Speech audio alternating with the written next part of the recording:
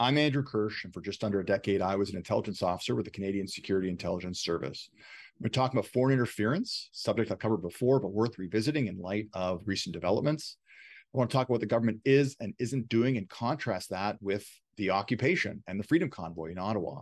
A little over a year ago, uh, Ottawa was seized or sieged with the occupation. And at the time, the CSIS director advised the government that this did not meet threats to national security as defined under the CSIS Act. But government of the day, um, they made an interpretation that the threat to national security was broader. They included things, I assume, like economic security, uh, threats to our sovereignty, to keep our borders open, trust in our allies.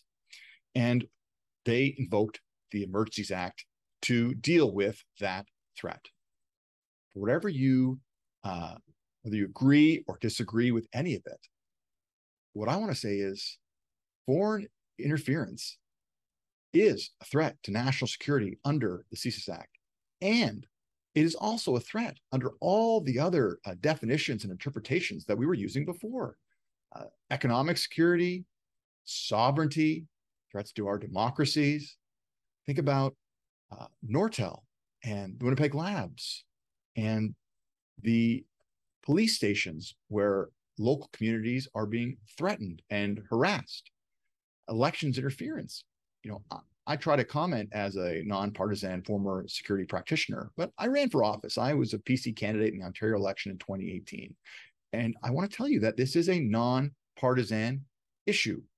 Uh, we had reports that a federal liberal MP is implicated and a provincial PC MPP uh, implicated. And just recently, the news it suggested that the Vancouver uh, mayoral election was the target of foreign interference. This is not a party versus party or specific to one level of government. This is a Canadian national security issue. Where is our Emergencies Act?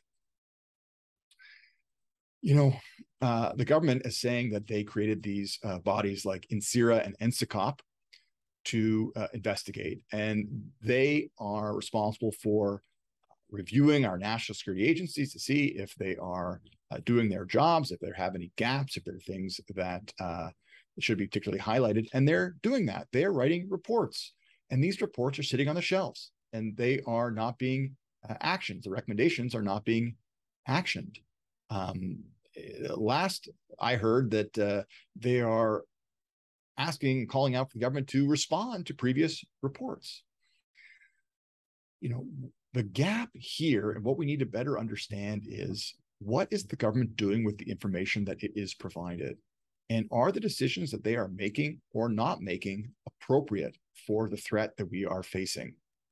You know, the recent announcement of a special rapporteur to uh, oversee or look into or read the reports of the existing agencies is not going to answer that fundamental question, which is what did we do the information we had, and is that appropriate for the threat that we face? You know, as a part of the uh, Emergencies Act, there was a commission, and they had to, uh, the prime minister had to sit and be questioned about his decision to invoke the Emergencies Act.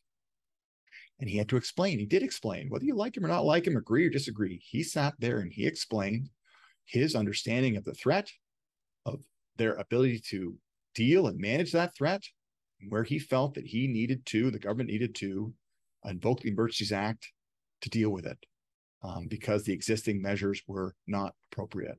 He made his case. We need that now.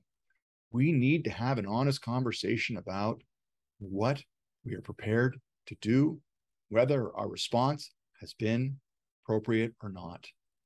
Uh, until we get to the bottom of that, we are not doing enough to combat this very real threat.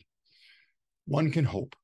So stay tuned. Like, subscribe, questions at info at kirschgroup.ca. Until then, stay safe.